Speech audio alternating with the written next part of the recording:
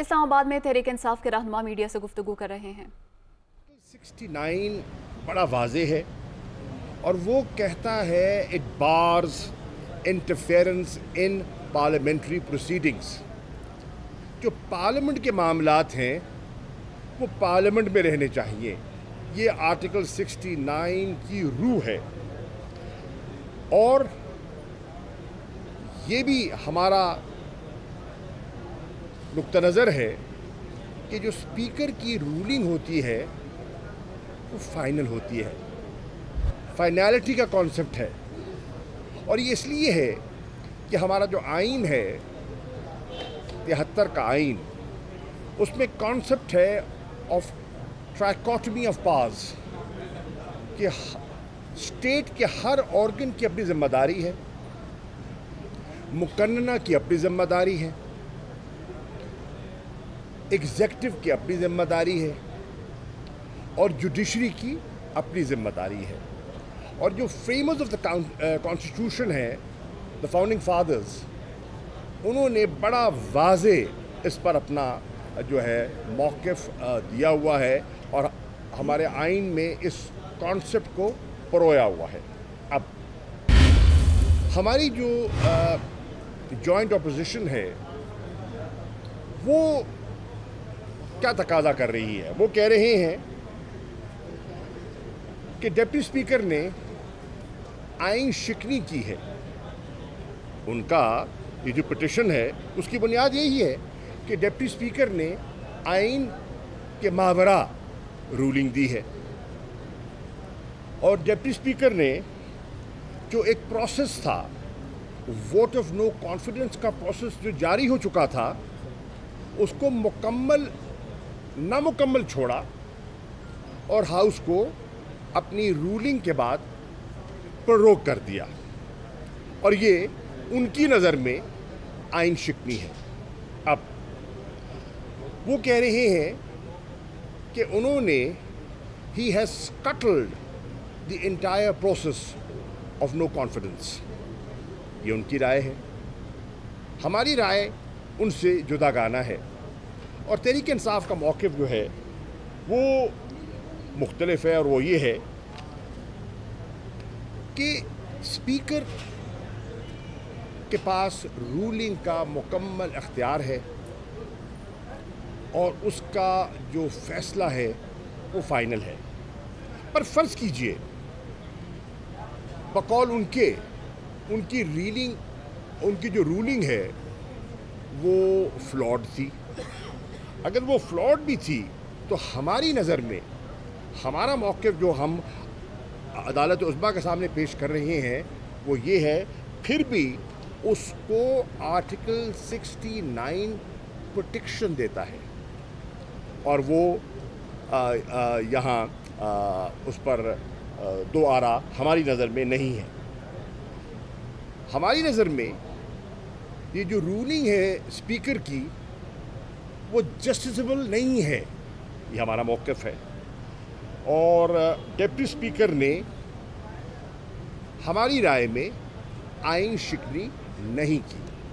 हम आइन के, हमने आइन पर हलफ लिया है। जब मेंबर बनते हैं असम्बली के तो आइन पर हलफ लेते हैं। और आइन की पासदारी हम पर लाजिम है। और आइन से मावरा कोई कदम उठाना ना हमारी पॉलिसी है ना हमारी सोच है ना इस तरफ़ हम कभी बढ़ेंगे। अब हमारी नज़र में एक नई सूरत हाल ने जन्म लिया। प्रोसेस चल रहा था। एक नई सूरत हाल ने जन्म लिया। वो रूस और वो सूरत हाल जब स्पीकर के आ, स्पीकर ने उसका मुलाहजा किया तो उन्होंने अपना एक जहन बनाया। और वो सूरत हाल क्या थी? सूरत हाल ये थी कि जो हम कह रहे थे कि एक कम्युनिकेशन आई है और उस कम्युनिकेशन से external interference external interference into the political affairs of Pakistan का हमें आ, हमारा वाज मौक़ है। रिजीम चेंज उसका मकसद था। और ये नेशनल सिक्योरिटी कमेटी में मसला जेर बहस आया। वो कम्युनिकेशन जिस पर अपोजिशन के अहम लोगों ने नुकताचीनी की, कुछ ने उसको फेक डॉक्यूमेंट भी कहा। हमारी नज़र में एक बहुत संजीदा कम्युनिकेशन थी और है। चुनाचे वज़ी अजम ने नेशनल सिक्योरिटी कमेटी का अजलास मुनद किया और उस अजलास के सामने वो कम्युनिकेशन रखी गई। उस कम्युनिकेशन पर जब तबादला ख्याल हुआ मुख्तलिफ़ मेम्बरान जो हैं नेशनल सिक्योरिटी कमेटी के उन्होंने उसको आ, देखा परखा। तो वो कुछ उन्होंने नतीजा अखज किया।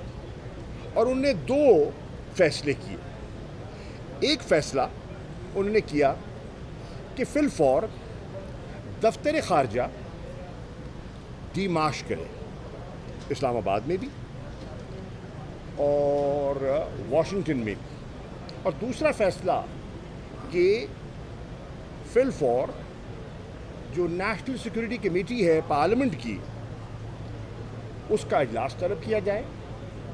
और ये सारा मरासला उनके सामने रखा जाए और पार्लियामेंट्री प्रूव किया जाए और हकायक की तह तक पहुँचा जाए। तो फिर नेशनल सिक्योरिटी के अहकाम पर अमल दरामद करते हुए दफ्तर खारजा ने डिमाश किया, वो आपके सामने है, और नेशनल सिक्योरिटी कमेटी का जो अजलास है, पार्लियामेंट्री कमेटी का, वो तलब किया गया। दावतनामे जारी किए गए। अब सवाल उठता है कि अगर अपोजिशन को इतनी तशवीश थी, अगर उन्हें शुबा था इस सारे मरासले पर तो उनके पास एक सुनहरी मौका था कि वहाँ आते, परखते, सवालात जो उठा रहे हैं, मीडिया के सामने, वो वहाँ लेकर जाते, वो एक मुनासिब फोरम है, एक पार्लिमानी फोरम है। और आप पार्लिमान के तहफ़ की बात कर रहे हैं तो उस पार्लिमानी फोरम पर अपना नुक्ते उठाते और जवाब तलब करते। और उनको मुतमिन किया जाता या करने की कोशिश की जाती। अब हमारी नज़र में कि ये जो प्रोसीजर है, वो अभी मुकम्मल होना था और डिप्टी स्पीकर ने इनकार नहीं किया। उन्होंने क्या कहा? उन्हें कहा, ठहरिए, एक नई सूरत हाल सामने आई है। इस सूरत हाल को एग्जामिन कीजिए। इसको एग्जामिन कीजिए। और उनकी नज़र में ये बड़ा संजीदा मसला है और उसके प्रोब के बाद वो आगे बढ़ने के लिए उन्होंने इनकार नहीं किया। लेकिन एक नई सूरत हाल ने जन्म लिया। अनप्रेसिडेंटेड एक चीज़ सामने आई। तो उसके सामने रखते हुए उन्होंने उस मोशन को डिसअलाउ कर दिया।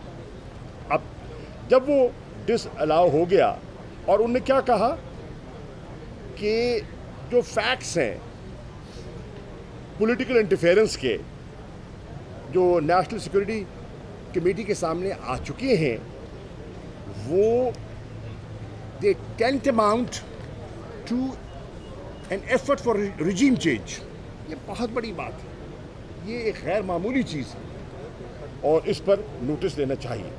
चुनाचे, अब एक रास्ता क्या है? एक मौक़ है, एक उसके बरक्स मौक़ है। तो एक तरीका तो ये है कि इसका एक जुडिशल प्रोब हो जाए। अदलिया खुद मुख्तार है, आज़ाद है, वो एक जुडिशल कमीशन भी कायम कर सकती है प्रोब कर सकती है। और अगर वो प्रोब करने का फैसला बाख्यार वो हैं, हम तो सिर्फ़ गुजारिश कर सकते हैं। अगर वो जुडिशल प्रोब का फैसला करती है तो फिर मेरे चंद सवाल हैं। और वो मैं आज आपके ज़रिए कौम के सामने रखना चाहता हूँ। और ये साथ हैं जो मैं आपके सामने पेश करूँगा।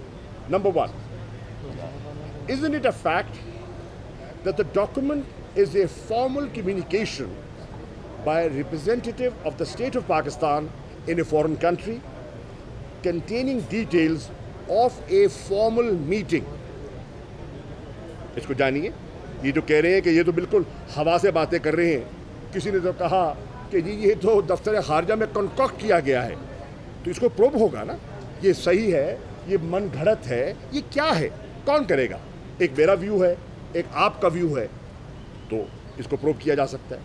दूसरी चीज़ it a fact that in the meeting, vote of con- no confidence was specifically mentioned and it links with removal of Imran Khan's government as a condition of giving Pakistan क्या उस बरासले में है? नहीं है। है?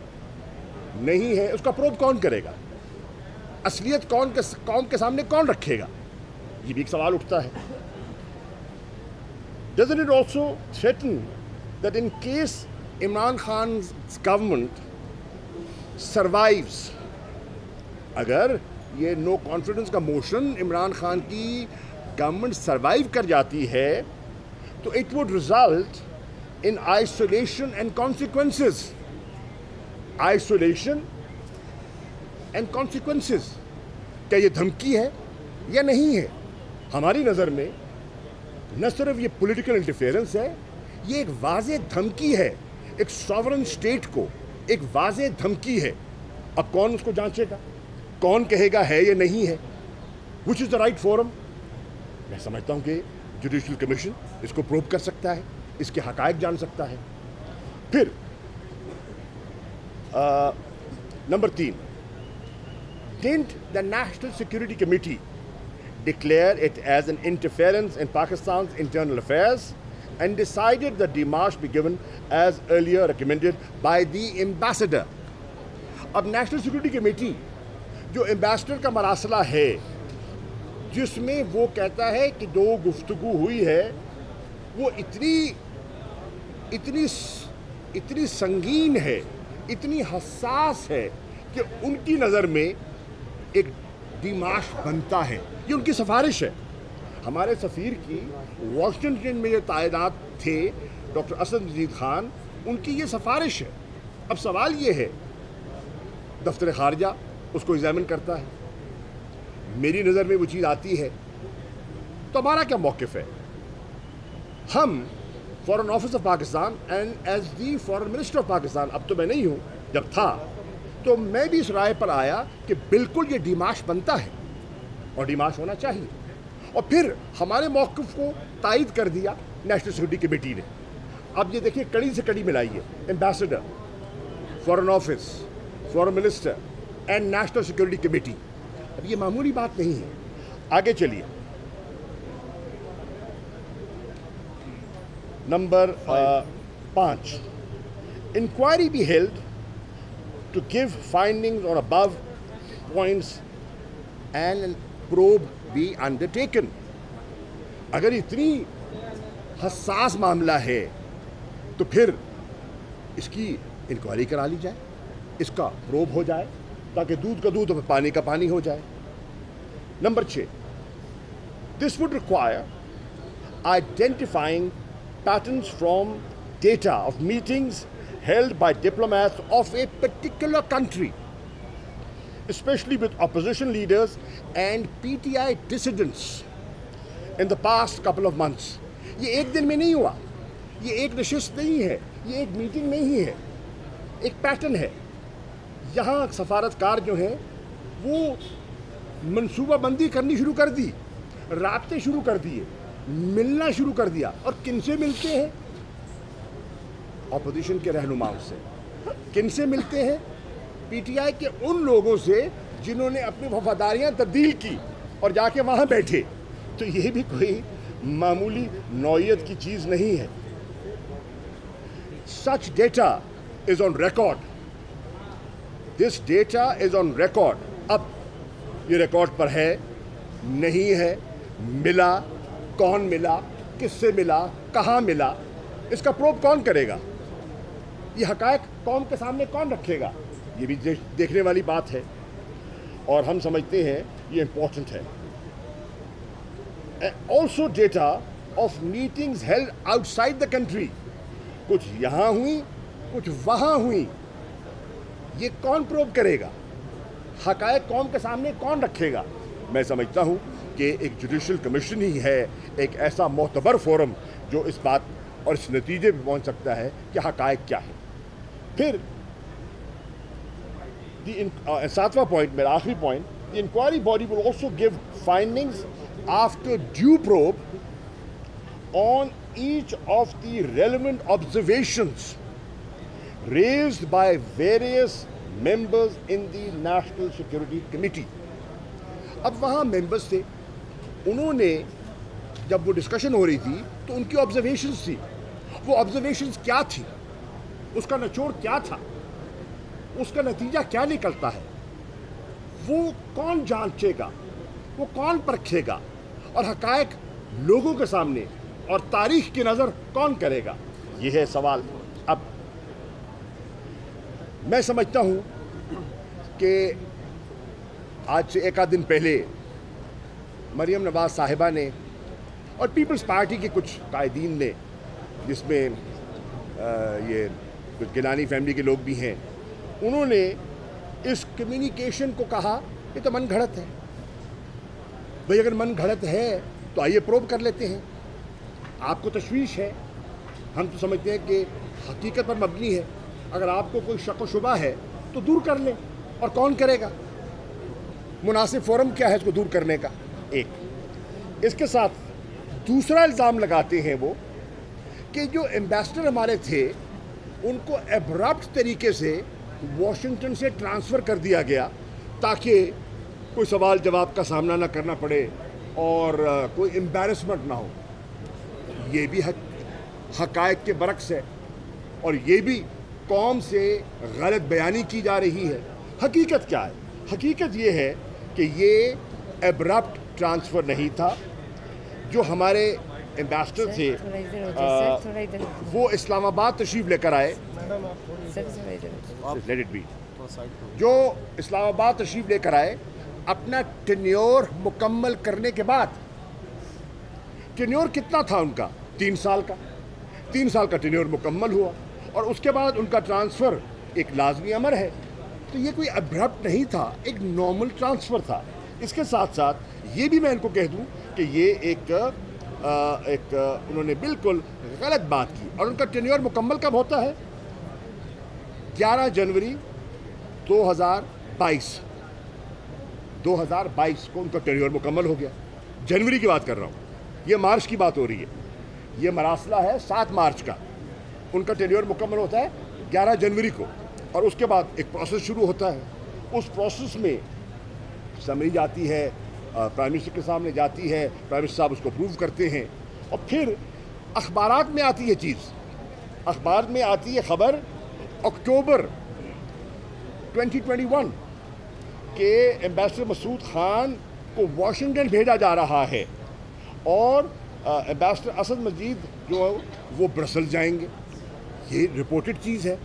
ये कोई अब्रट चीज़ नहीं थी। तो आपने कैसे ये तस्वुर कर लिया?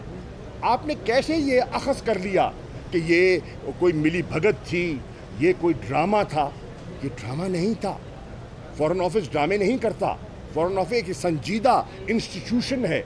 वहाँ ज़िम्मेदार लोग बैठे हैं प्रोफेशनल लोग बैठे हैं और अपना काम जानते हैं। फिर चार नवंबर को 22 2022 हमारी एम्बेसी को, वाशिंगटन की एम्बेसी को मसूद खान साहब के पेपर्स मिल जाते हैं तैनाती के और वो सबमिट करते हैं किसको? स्टेट डिपार्टमेंट को। तो ये अब्रप्ट कहाँ से हुआ?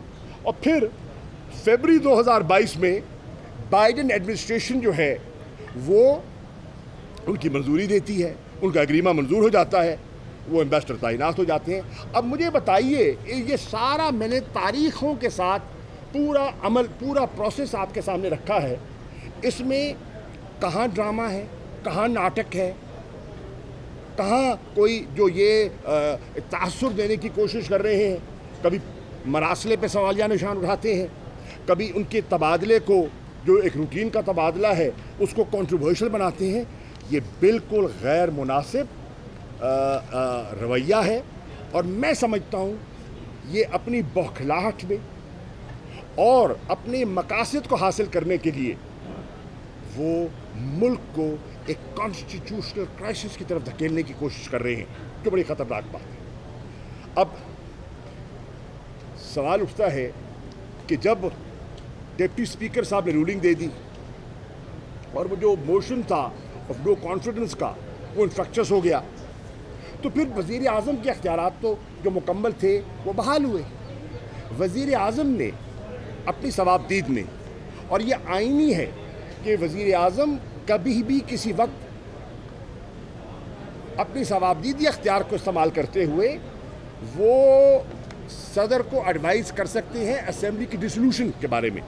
चुनाचे वज़ी अजम ने एडवाइस भेजी, और सदर साहब ने उसको एग्ज़ामिन किया। और एग्ज़ामिन करने के बाद असम्बलीज का डिसोलूशन हो गया।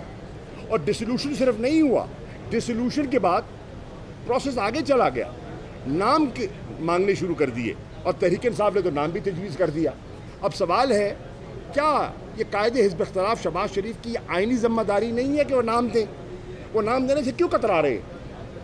और अगर कतरा रहे हैं तो अपनी आइनी ज़िम्मेदारी से वो जो है, वो पहलू जो है, वो पहलू तली कर रहे हैं। सुबह दोष हो रहे हैं। अब मैं समझता हूँ ऑपोजिशन कहती क्या रही है? और ये कौम ये सुनने की बात है, जानने की बात है। पूरे साढ़े तीन साल, ये सारे जो इस वक्त कोर्ट में बैठे हैं अपोजिशन वाले, ये एक ही राग अलापते रहे हैं कि मुल्क को नए इंतबात की ज़रूरत है। 2018 के मैंडेट को हम मैंडेट तस्लीम नहीं करते। इमरान खान इलेक्टेड नहीं सेलेक्टेड है। ये आप सारी कौम सुनती रही है। और हम भी साढ़े तीन साल सुनते रहे हैं। इनकी जो कार्रवाइयाँ थी पीपल्स पार्टी ने पाँच साल पूरे किए। नून ने पाँच साल पूरे किए। हमारा भी हक बनता था कि हमें पाँच साल पूरे मुकम्मल किए, हमारे जाने चाहिए थे। लेकिन इनको रास नहीं आया। हज़म नहीं हो रहा था इनको। हज़म नहीं हो रहा था। और क्यों नहीं हो रहा था? वो भी कौम के सामने आ जाएगा, क्यों नहीं हो रहा था? वो अभी इस पर मैं मज़ीद अभी बात नहीं करता, मौके आएँगे आगे बात करने के। अब सब्र कीजिए ना भाई। लेट मी फिनिश अब इन माई ओपिनियन बेसियत एक पाकिस्तान के शहरी के, ये बहुत संजीदा सूरत हाल है ऑब्वियसली अदिया का फ़ैसला आएगा, हम उसके मुंतज़र हैं। लेकिन मेरी राय में वाहिद हल। बसीत एक पाकिस्तानी की कह रहा हूँ। बसीत एक शहरी की कह रहा हूँ। तहरीक इंसाफ के कारकुन के तौर पर नहीं। वाद हल एक फ्रेश मैंडेट है। आवाम सारी सूरत हाल का फ़ैसला करे कि हमने मुल्क को कहाँ लेकर जाना है। और मुल्क के मुस्तबिल का फ़ैसला और बागडोर हम किन हाथों में देनी है और किन हाथों में महफूज होगी? कौन पाकिस्तान की खुद मुख्तारी खुददारी का तहफ़ करने की अहलियत रखता है? ये है सवाल जिस पर आज कौम को सोचना है और इस बैकग्राउंड में ये जो है जो केस है वो सुप्रीम कोर्ट में लड़ा जा रहा है। कर रही है कि सात से लेके तीन अप्रैल तक इस हद को सताईस को क्यों सामने लाया गया। टाइमिंग के ऊपर एतराज़ है अपोजिशन को और अपोजिशन समझती है। अपोजिशन को टाइमिंग के लिए एतराज़ वो इसलिए कर रहे हैं कि उनको एतराज़ नज़र नहीं आ रहा। वो कहते हैं ना डूबता तिनकों का सहारा तलाश कर रहा है। देखिए टाइमिंग के अगर आप सामने ले लें तो टाइमिंग के मेरे भाई, आप देखें कि फ़ॉरेन ऑफ़िस ने पाकिस्तान के जो अपना जो कोशिश और काविश के बाद जो सैतालीसवां इजलास था O I C council for ministers का नियामे में, उसमें हमने एक कंसेंसस बिल्ड किया कि अगला इजलास ओ आई सी का इस्लामाबाद में होगा। और उसकी डेट्स ताइन का फैसला हो गया कि 22 और 23 मार्च को होगा। खतूत चले गए दावतनामे चले गए असेंबली हॉल जो है वो वक्फ कर दिया गया वो सिक्योरिटी के लिए सील कर दिया गया। तो वो प्रोसेस आपके सामने है। और हम नहीं चाहते थे कि इस आ, स्टेज पर हमारी तवज्जो उस चीज़ से हटे। और ये एक बहुत इंपॉर्टेंट चीज़ था और उस इंपॉर्टेंट चीज़ पर प्राइम मिनिस्टर ने, आपने देखा कि अपने खिताब में, अपने की नोट एड्रेस में, उन्होंने कुछ इशारे और हवाले दिए। एक, नंबर दो, ये इतना हसास मसला था और है कि इस पर, इसके पूरे प्रोज एंड कॉन्स को जांचना ज़रूरी था। और प्राइम मिनिस्टर ने वज़न करके प्रोज एंड कॉन्स को देखकर, जब वो कायल हुए कि मामले की नौीयत इतनी संगीन है कि ये नेशनल सिक्योरिटी कमेटी के सामने रखा जाए तो उन्होंने अपनी सवाबदीद के तहत नेशनल सिक्योरिटी कमेटी का इजलास बुलाया तलब किया और वहाँ लेकर गए और फिर कहानी आपके सामने है।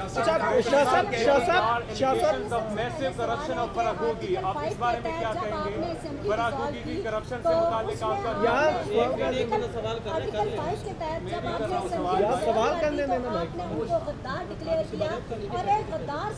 मांग रहे हैं कि आपको वज़ीर का नाम दे दें और दूसरा ये कि आप गद्दार को ही कह रहे हैं। देखिए, देखिए, नहीं, नहीं, एक- एक क्वेश्चन ऐड कर लीजिएगा। आप कहते हैं कि दूसरे ममालिक को हमारे अंदरूनी सिस्टम में मुदाखलत का हक नहीं। रशिया ने जो इमरान खान के मामले में बयान दिया आप नहीं समझते कि हमारे पॉलिटिकल सिस्टम में ये मुदाखलत है? देखिए, मैं पहले भी कह चुका हूँ और मैं दोहरा देता हूँ। हमारे डोमेस्टिक मामलात में मदाखलत का हक किसी को नहीं पहुँचता। और ना हमें इसकी इजाज़त देनी चाहिए, नंबर एक। नंबर दो, उन्होंने अपनी तशवीश का ज़िक्र किया है कि एक खुद मुख्तार आज़ाद मुल्क एक बायोलेटरल विज़िट के लिए आना चाहता है। हमारे उनके साथ डिप्लोमेटिक रिलेशंस हैं। वो आना चाहता है और उसको धमकी दी जाती है और उसको रोका जाता है। अब मुझे बताइए, किसी खुद किसी खुद मुख्तार सॉवरन स्टेट को किसी को हक पहुँचता है कि वो इस तरह रोके? नहीं पहुँचता। तो उस पर उन्होंने अपनी तशवीश का इजहार किया है क्योंकि वो एक बायोलेटरल विज़िट था। उसका जो यूक्रेन की सूरत हाल है उससे तो कोई ताल्लुक़ नहीं था। यूक्रेन के साथ हमारे ताल्लुक अच्छे थे अच्छे हैं। हमें अ, अ, हमने तो उनको जो अ, जो ह्यूमैनिटेरियन असिस्टेंस भिजवा सकते थे वो भी भिजवाई है। मैंने खुद रवाना की जाकर एयरपोर्ट पर खुद भेजी। और हमारी तो ख्वाहिश है। और हमने ओआईसी के इजलास में बाकायदा एक कंसेंसस बिल्ड कराने की कोशिश की कि as chair of the O I C C F M जो पाकिस्तान के वज़ीर ख़ारजा हैं वो अपना अ, अ, उन्हें इजाज़त दी जाए कि वो रोल प्ले करें मशावरत से दीगर अहम इस्लामी ममालिक से। और इस्लामाबाद डेक्लेशन में जो आया है आप पढ़ लीजिए उसमें उसका ज़िक्र है। और फिर चीन ने भी उसकी तायद की है कि अगर ये पीस प्रोसेस को आगे बढ़ाने के लिए for a peaceful resolution of this crisis of this conflict के लिए, अगर ओआईसी आगे बढ़ती है तो चीन भी उनकी मावनत करेगा। तो ये तो एक पॉजिटिव रोल प्ले प्ले किया है हमने। हम नॉन पार्टीजन रहकर हमने एक पॉजिटिव रोल प्ले किया है। हमने किसी की साइड नहीं ली, किसी की मुखालफत नहीं की। शाह साहब नेशनल सिक्योरिटी कमेटी की मीटिंग्स के मिनट्स मांग रहे हैं ऑपोजिशन वाले और साथ साथ डीजी आईएसआई और आर्मी चीफ को कह रहे हैं कि अगर हम गद्दार हैं तो आप प्रूफ दें। नेशनल सिक्योरिटी कमेटी की मीटिंग के मिनट्स आने चाहिए? क्या कहते हैं आप? देखिए, ये आला अदलिया बाख्तियार है। आला अदलिया बाख्तियार है। और अगर वो ऐसा हुक्म सादर फरमाएँगे तो फिर उसका कोई तरीक़ाकार तलाश किया जा सकता है कि उनको दिखाया